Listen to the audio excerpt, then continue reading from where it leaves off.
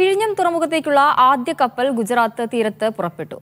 തുറമുഖത്തിന് ആവശ്യമായ ക്രെയിനുകളാണ് കപ്പലിലുള്ളത്. ആദ്യ കപ്പൽ എത്തുന്നതിന്റെ ചടങ്ങുകൾ ഈ മാസം പതിനഞ്ചിന് വിഴിഞ്ഞത്ത് നടക്കും.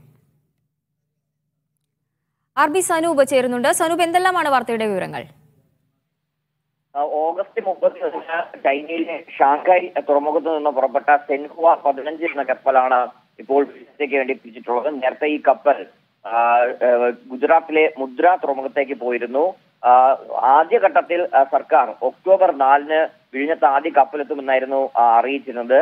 അതിനുവേണ്ടിയുള്ള തയ്യാറെടുപ്പുകൾ നടത്തിയിരുന്നു. പക്ഷേ കടലിലുണ്ടായ കാലാവസ്ഥ വ്യതിയാനം അത് ഈ കപ്പലിന്റെ വേഗത കുറച്ചിരുന്നു തുടർന്നാണ് സർക്കാർ ഔദ്യോഗിക കപ്പൽ എത്തുന്ന ചടങ്ങ് ഒക്ടോബർ പതിനഞ്ചിലേക്ക് മാറ്റിയത്. ഇതിനിടയിൽ സെപ്റ്റംബർ ഇരുപത്തിയെട്ടിന് കപ്പൽ വിഴിഞ്ഞം വഴി പോയിരുന്നു. അതിനുശേഷമാണ് ഗുജറാത്തിലെ മുദ്ര തുറമുഖത്തേക്ക് പോയത്.